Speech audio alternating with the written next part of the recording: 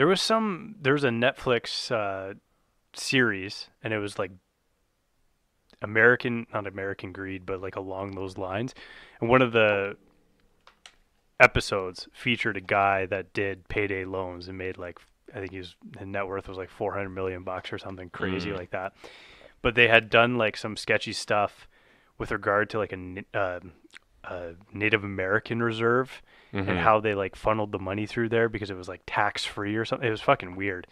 But they got oh wow, yeah, interesting. He went to jail and it Oh, was did he? interesting. Yeah. Ah, darn. You ever see that? No, I've Oh, never okay. watched that. They, they tried to do an episode on like Donald Trump being like this guy's piece of shit. Yeah, yeah, I know. I saw those. Uh, I knew that was a series. and I knew Trump was one of the ones, but I Mhm. knew it was like some other random guys. Was Shkreli in it? Yes, he was. Well, I, he was like Mentioned. he was in, mentioned. He, wa- okay, it in wasn't the like a- pharmacy one. yeah, it wasn't like Yeah. an episode about Martin, but fucking free Martin, baby, Free Shkreli, bring him back. dude, he was funny. Didn't he ask? Didn't he make a his lawyers filed a motion to get him released early so he could he could work on a coronavirus drug or something like that? I hope. I just We know can- that the fucking guy went on. Not the like, hero we need, but the hero we deserve. I just remember the guy went on national television with a fucking Pepe the Frog pin on Really? his suit, Oh, I never noticed that. and one of his lines on the fucking newscast was "R.I.P. Harambe," Yeah, and yeah, it was it's pretty good. he he bought that one Wu Tang album where they made an album where there was one of it, Yeah. and they would give you the distribution rights and stuff. So Mhm. you're like, you can either sell it or you can be the only person who has ever heard it. Yeah.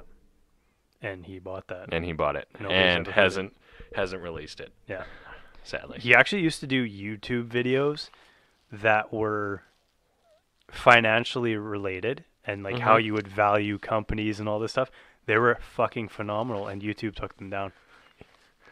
Really, all of Yeah, them. Yeah, I I, believe remember you so. telling me about those. They're unreal. He's man. actually was a smart investor and stuff, right? Oh yeah. So He's worth Yeah. a couple hundred million bucks. Couldn't keep him out of jail, sadly. But he did some s- securities fraud. That's what he's in jail for. Well, that's what they're saying. Yeah. Yeah. But I think there's I don't know. Well, it was a weird one where they tried to make an example of him for doing. Well, it was a scapegoat, right? Yeah. It was. We need to, like, let's, you know, people are aware that big pharma companies, you know, jack up the prices of these drugs because they know the insurance company will pay for it or the Mhm. yada yada yada. Yeah. Well, we can't take down the real big pharma, but we can find this small guy who is in the fringe enough that it's easy to make him look like a dick.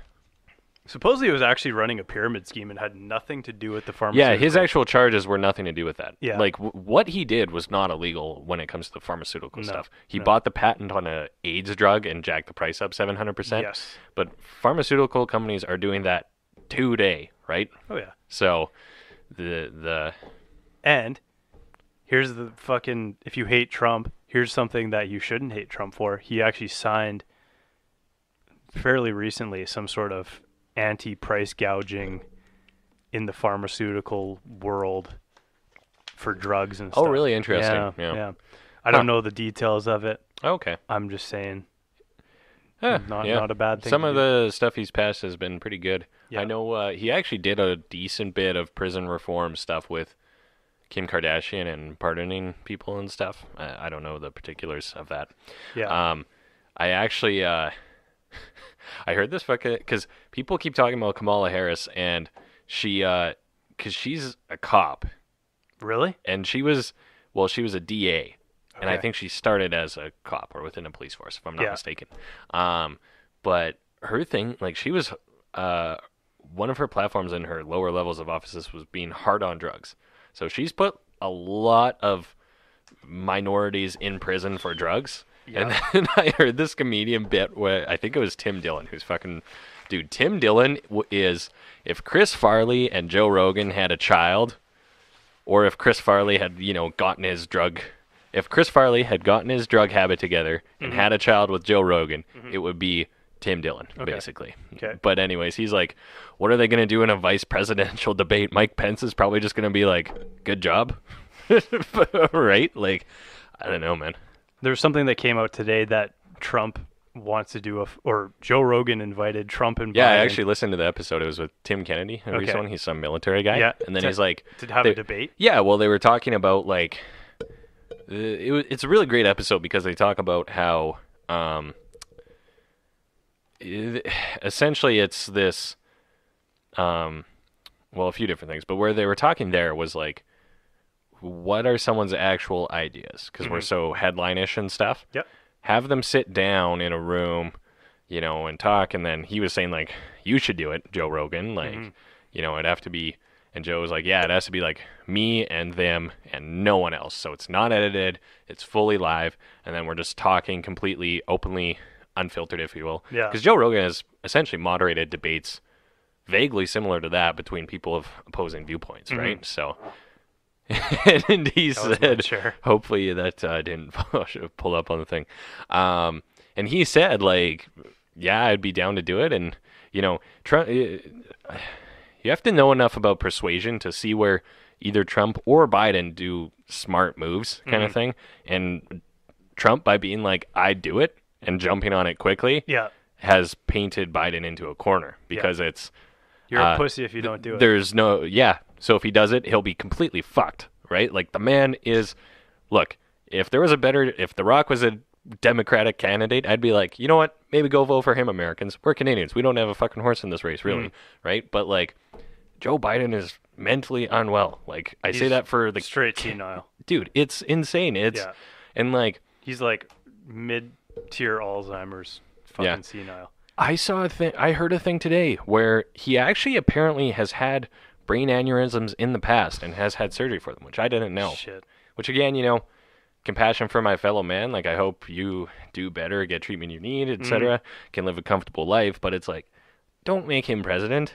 And that's not really a stamp on Donald Trump either, because it's like he's he's fucking funny, but he's a bit of a lunatic too. Like Yeah. it's just this whole fucking circus show. Is And the, the big show. thing is, is that people need to know, like, and this kind of goes for Canada too. Like, the political establishment is such a like machine, Mhm. and that machine wants to keep itself alive Mhm. and make money doing so, because that's what they do, right?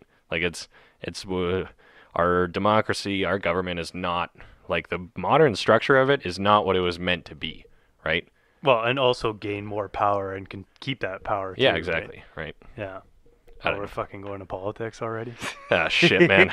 so, anyways, Just uh, backtracking though to fucking Joe Rogan. Like that would that sort of format is what you need for those debates. Those debates are fucking sound clip central. Well, it's kind of gotcha moments, Yeah, and then it's well, the problem too was like, you know, um, uh, with the 2016 ones, the you could clearly see the moderators were um decently against Trump. what? Yeah. Really? Um, so to a point, Joe Rogan is pretty down the middle enough, and I think Hmm. that's why he's done so well, and why people from both sides like him, Hmm. is because he's very, very fair. Yes, to to left wing people, he's considered right wing. To right wing people, he's considered left wing. That's probably a good place to be to be have such a large platform. I'd say, Hmm. right? So I think, and he's been, you know, he'll he would praise and criticize both sides pretty equally, and he he does so openly as it is, Hmm. Yep. right? So, Just his skills as an interviewer, I think he would be a good moderator for sure. oh, absolutely, But don't fucking let Rachel Maddow or fucking yeah, the guy and gal over at CNN be the Yeah. fucking moderators again. It's r- ridiculous. How do they even like? I guess they they they televise it, so that's how they get in. hmm Uh, I But don't yeah. know. How do you pick? How do you pick who interviews the potential president? Right? I don't know, man. Those fucking debates for ca- the Canadian election was that Those last were year already? Or, yeah, those were ridiculous, dude. they were fucking terrible. They were brutal. Everyone just starts yapping over each Yeah, other. yeah. And then you're like, this is what politics is. it's a beautiful metaphor to have the five of them standing up there. Yeah. Where it's like, you know, as with a joke we've made before, who invited Elizabeth May? Block him, a quiet guy is here. He doesn't even go to this school, Yeah. right? Like, Yeah. that's the shittiest party to be at. And then they're all just squawking at each other. I've like thought about it. I was be like, what would I do if I was up there? And I'd probably just fucking stand there. Like I don't. That would actually be a good power move to just Yeah, stand there quietly. yeah, and be like, "Is it my turn?" And, and then be like, me know when it's my turn, guys. Yeah, exactly. Yeah. Just kind of stay out of the fray, hmm and then Yeah. just fucking knock everybody else out of the park. hmm Fucking vote us 20, 20 Vote Pants Party for yeah. 2023. That was a fucking yeah, Pants party. Fuck yeah. Bring back that shit. The rent is too damn high party. Yeah, cocaine legal party or whatever. We had this was a Matt Dimopoulos. We had discussed the Pants party. Oh yeah, that's what the name of that episode was, I think, if I'm it not was, mistaken. Yeah. Fucking remember that. That was good Shit. shit. Shit. yeah. Fucking good times. Yeah. Yeah, man. I don't know, dude. I'm eh, I'm a tear the whole system down kind of type. It's not what it's I don't know. George Washington was it a George Washington clip where it's like you can't get rich off of politics unless you're corrupt. Yeah. I just said clip. It's not like clips around were around in the 1700s. A quote, A quip, perhaps. Perhaps I was trying to say Yeah. quip, Quip. Quip. Quip is a good word. which would be a quote. I Not guess. used well enough. Yeah. Mhm. Not used